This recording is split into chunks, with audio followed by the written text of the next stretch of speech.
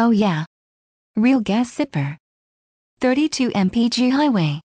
This really is a great vehicle for your active lifestyle. Safety features include ABS, traction control, curtain airbags, passenger airbag, stability control.